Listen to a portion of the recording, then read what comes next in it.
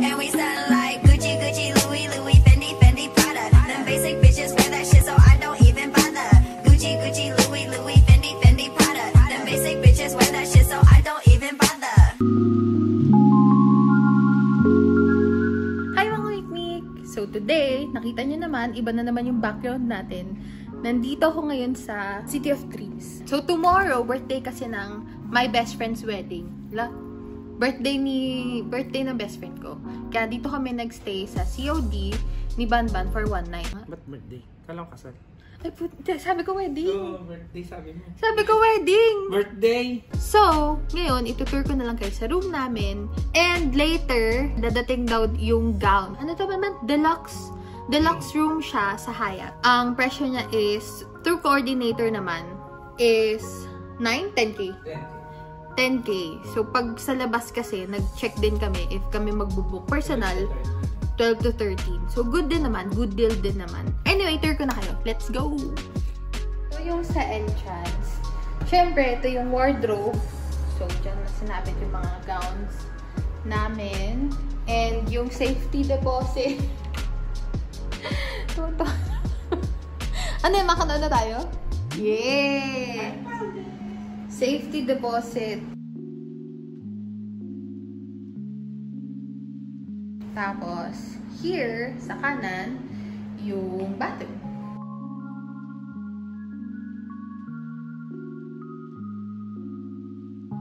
Malaki yung bathroom nila in fairness. And then, may shower here.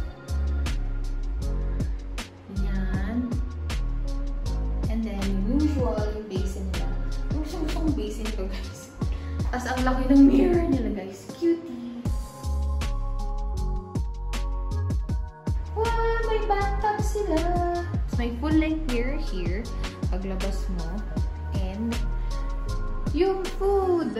Nakakatawa sa concierge kanina. Nagtanong kasi kami ni Banban. So, parang ina-explain niya, di ba? Yung check-in, check-out, kung ilang nights kami. Tapos sabi niya kung anong oras yung breakfast. And then, binanggit niya na yung mga nasa, ano daw, mga food and drinks, complimentary. And so, papakita ko sa inyo kung ano yung food na nandito. Ayan. So, may ito yung food. Nems. Cup noodles, Pringles, water. Ayan. So, meron silang mga beer and soft drinks and juice. And then, coffee and tea and sugar and creamer and whatever. Yun lang. And, yung bed. So, yeah, king size siya. Pero I think, sa gantong rooms, tulad kami na nag-check-in kami before, pwede siyang ipa-convert into two queen size beds or one king size bed. Alam ko pwede yon No charge.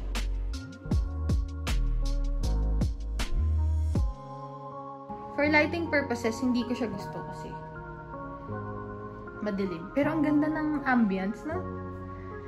Yan. Ito yung iban-ban. Oh! Also, may bagong rule sa COD na hindi na pwedeng magpasok ng food sa loob. Makikita nyo sa labas sa kalagay, no outside food or drinks allowed. So, good thing, pagtingin namin sa labas, kasi gutom na gutom na kami super, hindi pa kami nag-lunch nung dumating kami here. Nakita namin sa labas, yung Ayala Malls, Manila Bay, ayun lang. So, lalakarin lang siya, obviously, from here. O, doon, sa kaliwa. Tatawid kayo. O, tas lalakad kayo. Tas tatawid kayo ulit. Tas nandun na. Yan guys, so nandito na kami sa suite ni Tere. Nandito na kami sa bride suite. And, nandito na rin yung people from Mark Brides. Sinaset up na nila yung gown. Yan siya.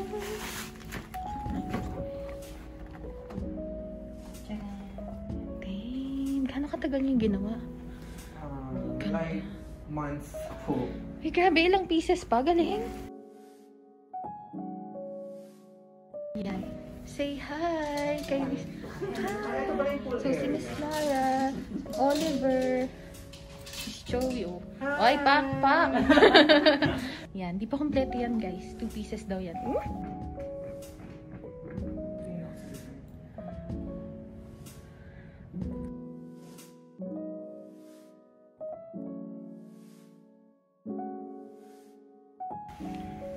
Yan na ang skirt. Talaga, guys.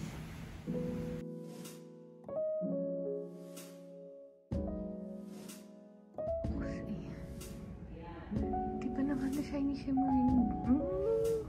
Focus sa boobs. Swarovski daw yan, guys. Ang ganda niya, guys. Oh my God. Hindi na ako pwede magkuha ng video sa ceremony, obviously. Kaya nga mayroong mga photo video. Dinidiscourage nila yung pagkuha ng mga individuals ng photo and video. Yan. Ganda ng detail nito. Yan. Nagkuha na ako ngayon before sila umalis kasi gusto ko sabayan. Kasi natatakot ako baka, baka gumalaw. Chariz. Yun lang guys. Tour ko na lang pala kayo guys dito sa bridal suite. Actually, hindi ko sure kung iba siya sa ibang suite. Pero may Nespresso sila dito. So, So, pagpasok mo ng door, mahaba na siyang hallway ni ganyan. Hallway.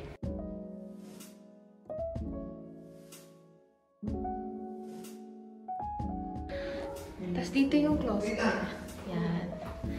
And then, full length mirror here. So, ito na yung bed. Right? Meron silang extra. Ang tawag dyan? Yan, may extra extra. And then, yung bed, king size, I think. Tapos doon. Ooh, ayun pala itlog. TV, ottoman. And yung food nila. Hi, gown. Meron silang boom. Boom, Nespresso. What? And then same food. Yes, meron pa rin sila mga 3-in-1 coffee. Same set ng drinks. Tapos guys, yung view naman ni Tere. Ay, pa yung cute. Ang Bango guys. Super ganda niya in person. But what is this place? Kung ito yung casino, what is this place? Park? Yan, yung bathroom niya. Oh, may vanity agad. And, ang cute na ito. Ito yung salamin na. ito yung bathtub. Cutie. Bathrobes. Mirror. Ooh. Dalawang basin. Because I think ang sweetest. Tapos mas malaking shower. And, toilet. Tada! Okay. Alis na kami, guys. Hi! Nakabalik na ako from room ni Tere and binigay niya na yung bridesmaids box. Check natin.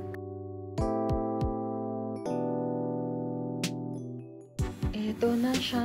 Sobrang cute. Tada! Oh my God. So, ito yung robe. Our, oh my God. Our chocolate. Oh, ang ganda.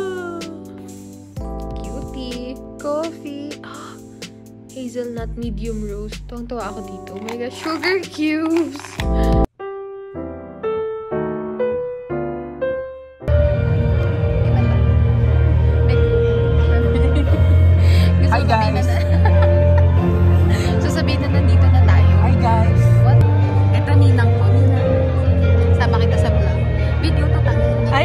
¡No, no, no!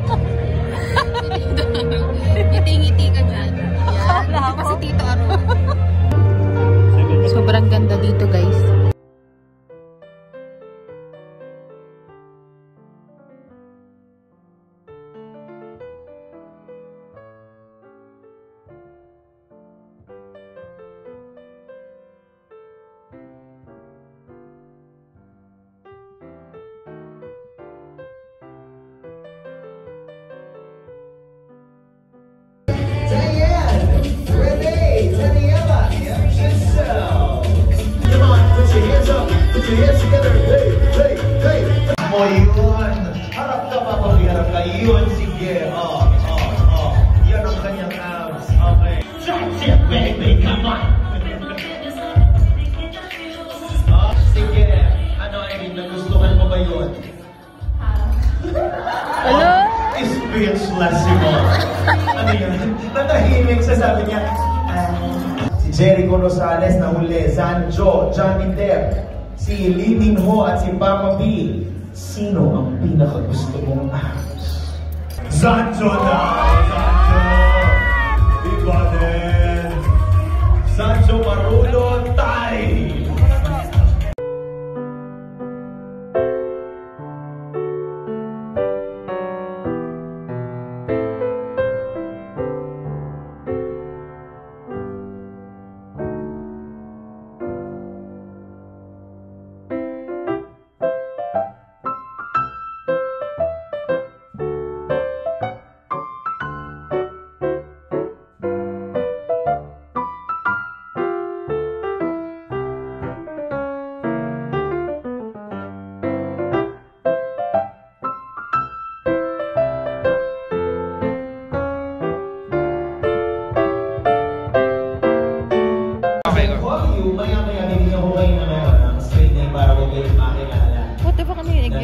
Yep.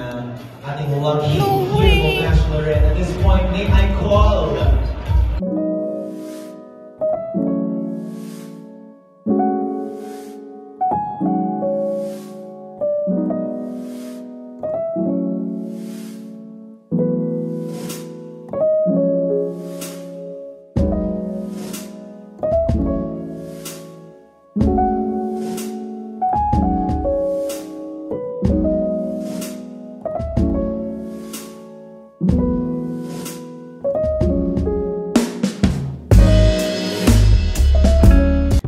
Yan. So, yun lang guys. Sana napakita ko ng maayos. Hindi ko sure kung mapapakita ko or napakita ko lahat kung paano ang wedding dito sa Philippines. Hala! Tulad din paano ko pinakita yung birthday dito sa Philippines. So, yun lang. So, next video ulit. Don't forget, like and comment and share and like and subscribe and hit yung notification bell para sa next video. Yun lang. Bye!